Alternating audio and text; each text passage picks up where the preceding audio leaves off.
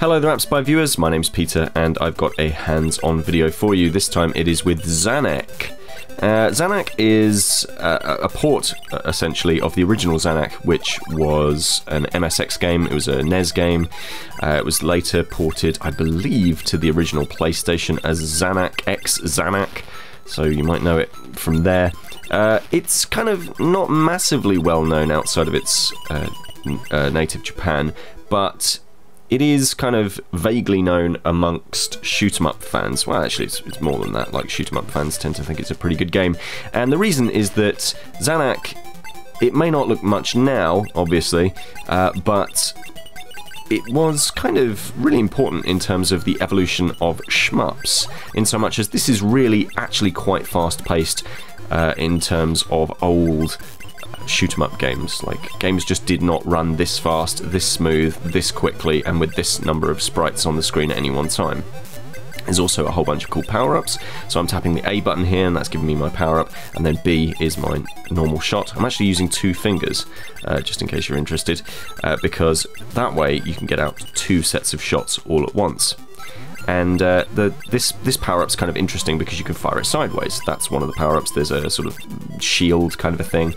There's a power up that shoots diagonally. Oh gosh, there's all sorts of there's all sorts of power ups in this thing, and it's the power ups that kind of make it interesting. Plus these uh, these bosses basically, which litter the screen with these tiny little white bullets, which you need to avoid and uh, there's also ground targets, and again, like that's not a massive deal. Ah, game over. It is a pretty tough game.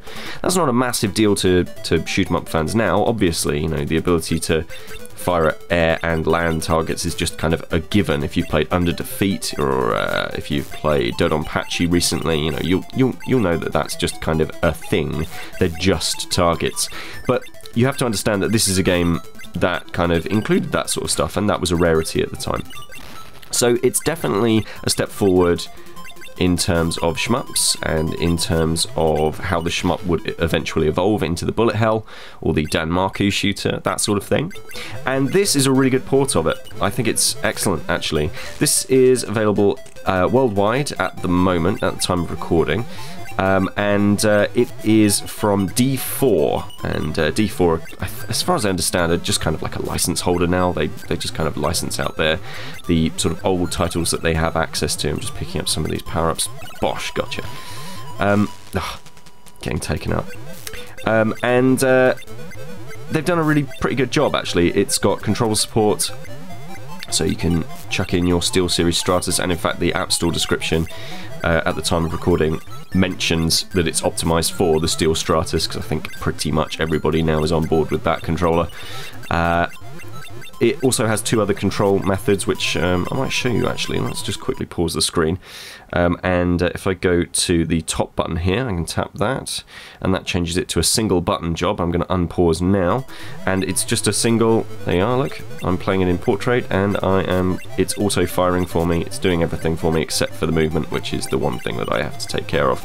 It's uh, pretty good as well. Ah, oh, except for I get shot like that. um, you might also have noticed that there's Japanese text uh, on the screen. That's not because I'm signed into a Japanese account or anything like that. It just seems to be a slightly bare bones port, and D4 tend to do that kind of a thing. But otherwise, it's a really great port, and it's ad supported, and it's free at time of recording. And the reason I keep saying at time of recording is uh, simply because uh, uh, the kind of the listing for it's vanished in the last five or ten minutes. Uh, pulling back the curtain a little bit, we've just put a story live on appspy.com, and uh, I, I, can't get back to the store page. So, hmm.